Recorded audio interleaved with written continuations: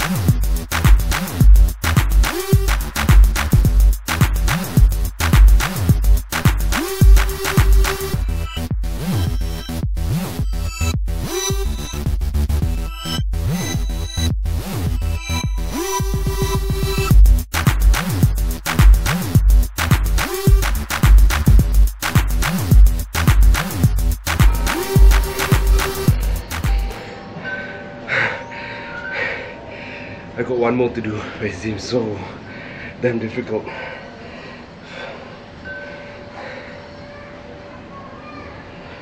Come on, no.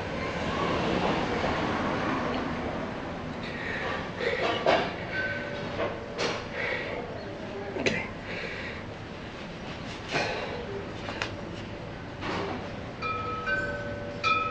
Oh. There you have it. 100 push-ups for Love Drunk.